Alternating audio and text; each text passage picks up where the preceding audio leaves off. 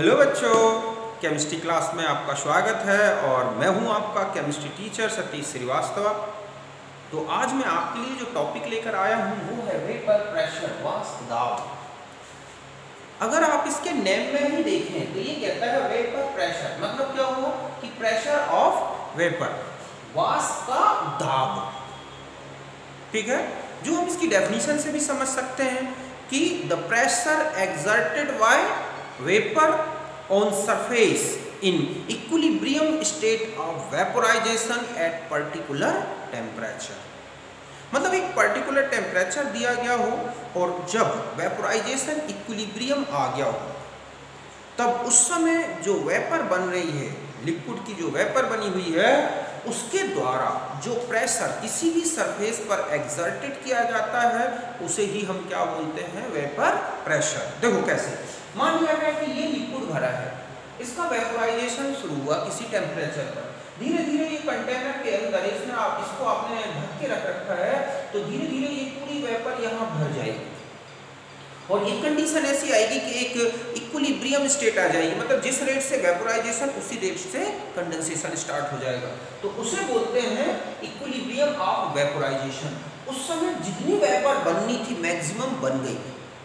अब ये जो वेपर बनी हुई है, वो इस लिक्विड की सरफेस पर या इस कंटेनर की वॉल पर जो भी प्रेशर एग्जर्टेड करती है, उसे ही हम क्या बोलते हैं? वेपर प्रेशर मतलब ये हुआ कि the pressure exerted by vapour on surface in equilibrium of vaporisation at particular temperature किसी ताप पर वाष्पन की साम्य अवस्था में, वाष्प द्वारा सतह पर आरोपित दाब ही क्या बच्चों दाब समझ गए ना?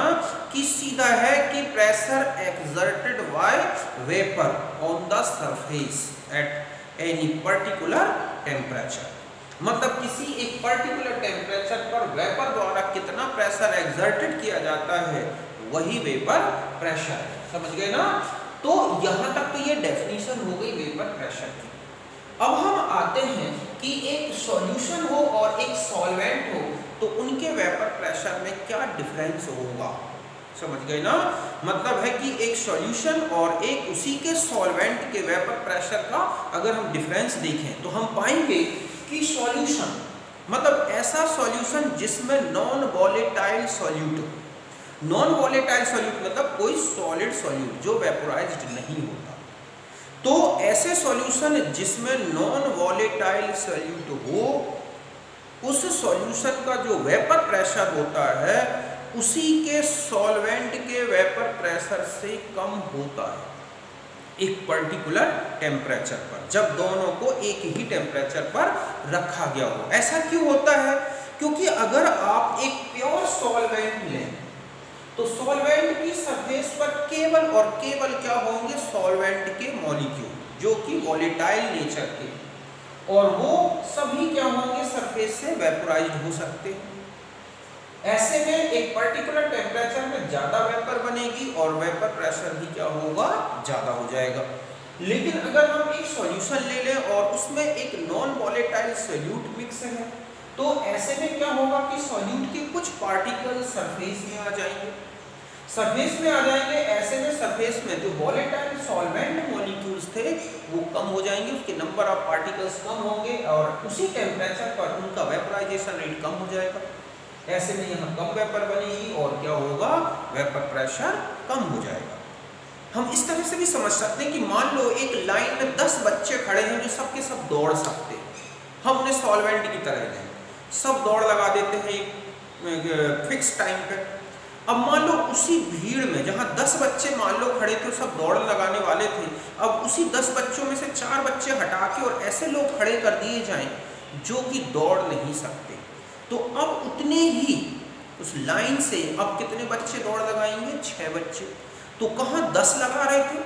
और अब कहाँ छः लगा रहे हैं? तो इस तरह से ऐसा ही हम किसमें समझ सकते हैं? सॉल्यूशन में कि जहाँ सरफेस से मान लो ये टेन मॉलिक्यूल वेपराइज हो रहे थे उनमें से चार आपके कौन से आ गए? मान लो volatile non volatile solute particle आ गए सरफेस पर।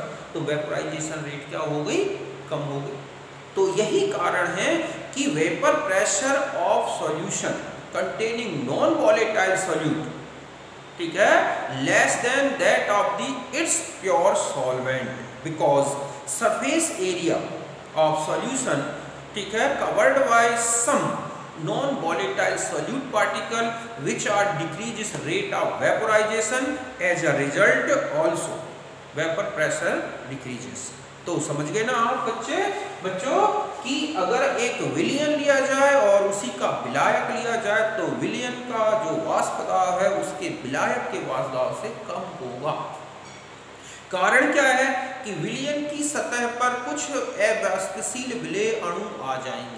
जिससे वो वाष्पन की दर को क्या कर देंगे? कम कर देंगे। जबकि विलायक की सतह पर केवल और केवल विलायक के अणु हैं, जो वॉलेटाइल हैं तो सबके सब वाष्पित होंगे और वाष्प दाब क्या होगा? ज़्यादा होगा। तो यही मैंने लिखा है कि vapour pressure of solution containing non volatile solute is less than that of the vapour pressure of its solvent because in solvent more molecule escape from surface मतलब सॉल्वेंट में क्या होगा? ज़्यादा से ज़्यादा अणु जो है एस्केप होंगे मतलब हटेंगे वेपोराइज होंगे। बट इन सॉल्यूशन ठीक है some non volatile molecules occupy surface area and increase the rate of vaporisation इस तरह से सॉल्यूशन में कुछ नॉन वॉलेटाइल जब मॉलिक्यूल आ जाएँगे तो वो रेट ऑफ़ वेपोराइजेशन को कम कर देते हैं, जिसके कारण ही हम ये कहें कि vapour pressure of pure solvent always greater than vapor pressure of solution containing non volatile solute. और हमें यहाँ पर इसी सॉल्यूशन और सॉल्वेंट के वेपर प्रेशर से रिलेटेड कुछ लॉज पढ़ने हैं, जो हम अभी आगे देखेंगे तो पहले आप इसे नोट करें ओके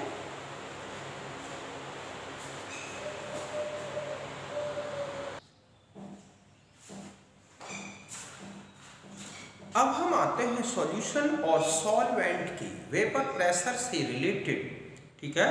जो एक लॉ है, जिसे बोला गया है राउल्स लॉ ठीक है? ये जो लॉ है it gives relation between vapour pressure of component and its amount और क्वांटिटी इन सॉल्यूशन मतलब ये जो लॉ है, ये किसी कंपोनेंट के वेपर प्रेशर और उसकी क्या अमाउंट है सॉल्यूशन में? जिसे हम मोल फ्रैक्शन के फॉर्म में लेंगे, उसके बीच का एक रिलेशन है। देखो, इसमें क्या बोला गया है कि vapour pressure of component in solution is directly proportional to its mole fraction in solution मतलब है कि किसी भी सॉल्यूशन में जो कंपोनेंट है, जो वॉलेटाइल हुए उसका जो वेपर प्रेशर होता है, वह सॉल्यूशन में उसी के मोल फ्रैक्शन के क्या होगा? डायरेक्टली प्रोपोर्शनल मतलब सीधा सा है कि सॉल्यूशन में उसकी अमाउंट जितनी ज़्यादा होगी, जितने ज़्यादा मोल्स होंगे, उसका वेपर प्रेशर उतना ही ज़्यादा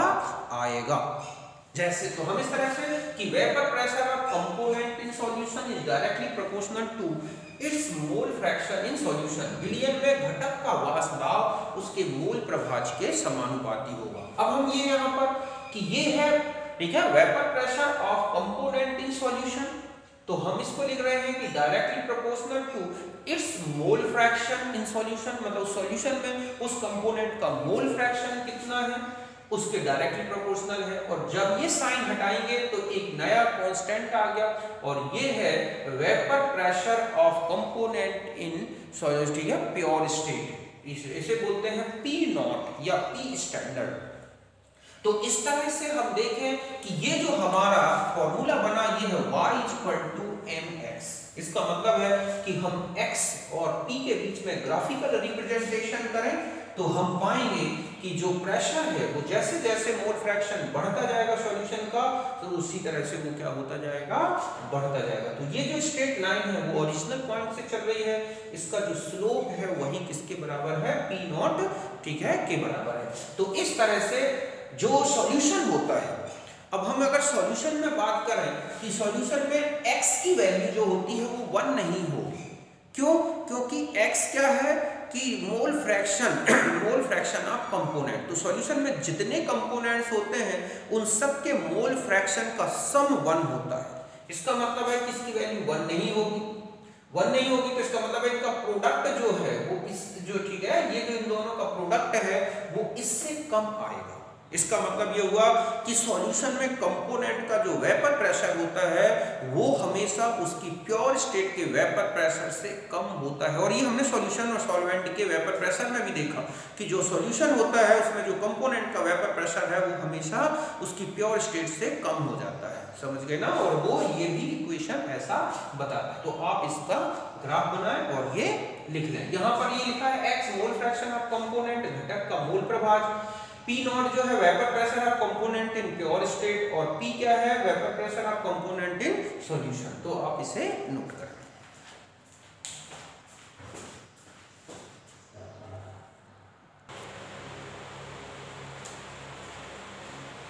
अब देखो माना कि एक ऐसा सॉल्यूशन लिया जाए जिसमें दो कंपोनेंट ए और बी है और दोनों वॉलेटाइल है। मतलब ऐसा बिलियन है जिसमें दो घटक ए और बी हैं और दोनों क्या हो? वास्तशील है ठीक है? और हम ये माने कि A more volatile than B मतलब ए जो है, उसकी वाष्पशीलता बी से क्या है? ज़्यादा। मतलब ए जल्दी वाष्पित होता है बी के रिस्पेक्ट में। तो हम जानते हैं कि पी ए इक्वल टू क्या होगा? P not A into X A इसी तरह से P B equal to P not B into X B तो टोटल सॉल्यूशन का टोटल प्रेशर यहाँ पर जो पीटी है, ये क्या है? टोटल प्रेशर मतलब सॉल्यूशन का जो कुल दाब है, वो दोनों के आंशिक दाब पार्शियल प्रेशर का सम होगा, जो कि डॉल्टन्स लॉ ये कहता है तो हम दोनों के पार्शियल प्रेशर को इस तरह लिखें। और आगे बढ़ाते जाएँ X A plus X B कितना होता है? वन तो हम X B equal to one minus X A लिख सकते हैं। इस पूरे क्वेश्चन को हम ए के मोल फ्रैक्शन के बेस पर देखें।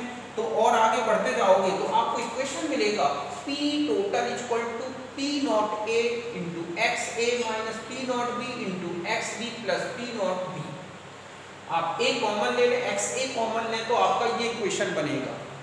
तो आपको ये ध्यान रखना है कि यहाँ पर एक्स ए आता है तो यहाँ पर केवल एक बार ही जो है ए का प्रेशर स्टैंडर्ड स्टेट में आएगा।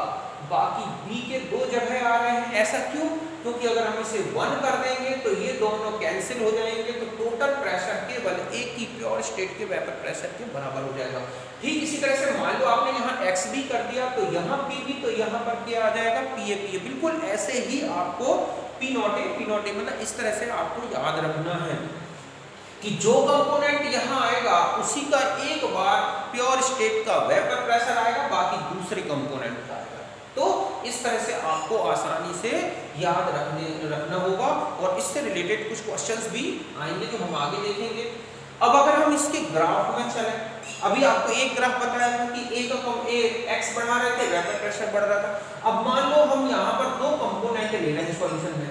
यहाँ पर एक्स ए वन है मतलब अभी यहाँ पर कोई कंपोनेंट नहीं है। एक्स ए मतलब ए कंपोनेंट नहीं है, उसका मोल फ्रैक्शन ज़ीरो है। लेकिन केवल प्योर क्या रखा है? एक्स बी जैसे जैसे हम एक्स ए बढ़ाते जाएँगे मतलब है कि मोल फ्रैक्शन ए का बढ़ाते जाएँगे वेपर प्रेशर क्या होता जाएगा? ये प्रोडक्ट चूँकि ये तो कांस्टेंट वैल्यू है तो ये दोनों का प्रोडक्ट बढ़ता जाएगा और जब एक्स ए वन पहुँच जाएगा तो यही जो पार्शियल प्रेशर था, वही उसकी प्योर स्टेट के वेपर प्रेशर के बराबर हो जाएगा। मतलब ये वन तो ये और ये बराबर हो जाएँगे। जस्ट ऐसा ही यहाँ पर देखें कि एक्स भी ज़ीरो था, अर्थात वहाँ पर कोई भी बी नहीं था। जैसे जैसे आप एक्स की बढ़ा रहे हैं, अर्थात बी के मोल फ्रैक्शन बढ़ा रहे हैं या मोल बढ़ा रहे हैं सॉल्यूशन में तो वेपर प्रेशर उसका बढ़ता जाएगा और जब एक्स भी वन हो जाएगा तो वहाँ पर उसकी प्योर स्टेट का वेपर प्रेशर हो जाएगा। मतलब है कि वो वेपर प्रेशर और सॉल्यूशन का वेपर प्रेशर बिल्कुल बराबर हो जाएँगे। अब मान लिया जाए कि किसी भी पॉइंट पर ये इस तरह से तो ये देख रहे हैं आप कि ये थोड़ा ऊँचा उठा हुआ है, ग्राफ, इसका मतलब है कि ये ज़्यादा वॉलेटाइल है और बी कम वॉलेटाइल और किसी भी पॉइंट पर, अगर हम यहाँ से लेके यहाँ पर किसी भी पॉइंट पर वेपर प्रेशर निकालना चाह रहे हैं तो हम वहाँ से स्ट्रेट लाइन इस तरह से लें उस लाइन में जहाँ पर टच कर रहा है दोनों का ये ग्राफ जैसे यहाँ पर टीबी का टच कर रहा है, यहाँ पर पी का तो हम इस तरह से इन दोनों की वैल्यूज़ यहाँ पर देखें कितनी है और उनको जोड़ दें तो उस पॉइंट पर पी टोटल कैलकुलेट हो जाएगा। समझ गए ना बच्चों? कि इस तरह से ये है, जब दोनों कंपोनेंट क्या हो? वॉलिटाइल हो तो ये दो इक्वेशन याद रखने हैं। और इसका भी अभी मैं एक ग्राफ बना देता हूँ, जब दोनों क्या है? आपने देखा कि दोनों को मिला के ग्राफ लिया जाए तो ये। और अगर हम इस ग्राफ को लें, कि यहाँ पर हम पी टोटल ले लें, और यहाँ पर किसी एक कंपोनेंट को ले लें, मान लो एक्स ए ले लें तो आप देख रहे हैं कि वो इस तरह का ग्राफ आएगा। क्यों? क्योंकि अगर आप इसमें देखें तो ये है एम एक्स और ये क्या है? सी ठीक है? और ये क्या है? वाई तो इसका मतलब है कि ये जो हमारी स्लोप होगी, वो किसके बराबर दिख रही है? T not A minus T not B ये जो हमारा इंटरसेप्ट आ रहा है, अंतःखंड, ये किसके बराबर है? पी नॉट बी के। तो इस तरह का भी ग्राफ बनेगा। स्ट्रेट लाइन इक्वेशन तो इस तरह से आपके ये ग्राउंड से रिलेटेड दो ग्राफ बता दिए मैंने तो आप इसे नोट करें।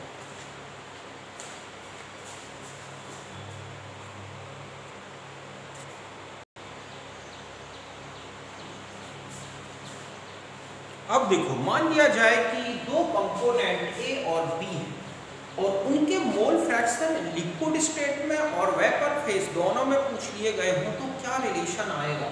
तो मान लिया जाए कि ये है लिक्विड स्टेट और ये क्या है यहाँ पर? वेपर फेस मतलब वहाँ पर वेपर भरी हुई है।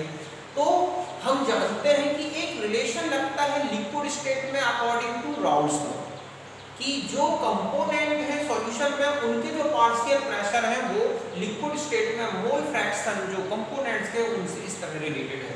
और एक है डॉल्टन्स लॉ कि जो वेपर फेस है, उस वेपर फेस में जो कंपोनेंट्स हैं, उनका अगर वेपर प्रेशर कैलकुलेट करना है तो total pressure into vapour phase में उनका मोल फ्रैक्शन मतलब ए का मोल फ्रैक्शन बी का मोल फ्रैक्शन इनकी वेपर फेस में क्या है और टोटल प्रेशर क्या है इनटू कर दिया अगर हम दोनों इक्वेशन को कंपेयर करें तो हम पाएँगे कि हमारे पास आ गया, ठीक है? ये है गामा ए तो वो हो गया, आप देख रहे हैं कि partial pressure of A upon total pressure अर्थात P not A into X A upon P total ऐसे ही अगर हम बी का मोल फ्रैक्शन वेपर फेस में देखें तो वो इस इक्वेशन से निकाल सकते हैं। और ध्यान रखें कि जो gamma A plus gamma B है, वो कितना होता है? वन समझ गए ना? अर्थात एक का मोल फ्रैक्शन कैलकुलेट करने वेपर फेस में तो दूसरा इस इक्वेशन से भी कैलकुलेट कर सकते हैं। तो यहाँ पर ये जो है, ठीक है? गामा ए और गामा बी जो है, ये जो है क्या है? कंपोनेंट के वेपर फेस में मोल फ्रैक्शन मतलब गामा ए है mole fraction of A in vapour phase ठीक है? ऐसे ही y भी है तो b का मोल फ्रैक्शन वेपर फेस में।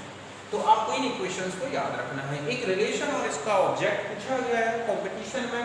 तो जैसे आप देखते हैं कि गामा ए इक्वल टू अगर हम पी टोटल को ए के रिस्पेक्ट में ए के मोल फ्रैक्शन के बेस पे देखें तो ये लिख सकते हैं। अभी हमने इक्वेशन निकाल के बताया था कि जो यहाँ आएगा, वही एक बार आएगा, बाकी दूसरे कंपोनेंट का वेपर प्रेशर आता है। और आप इसको उल्टा करते हैं तो इस तरह हो जाएगा और बढ़ाते जाएँ तो लास्ट में ये स्ट्रेट लाइन इक्वेशन बन गया।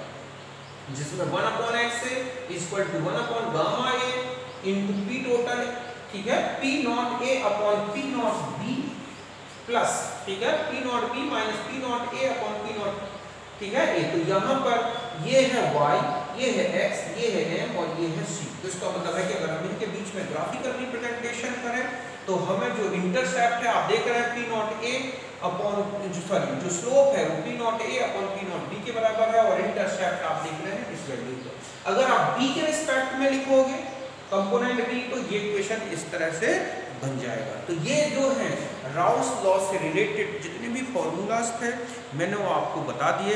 अब हम इनसे रिलेटेड कुछ क्वेश्चंस करते हैं, जो हम नेक्स्ट वीडियो में देखेंगे। ठीक है? तब तक के लिए बाय ठीक है? अब हम मिलते हैं नेक्स्ट वीडियो में। ओके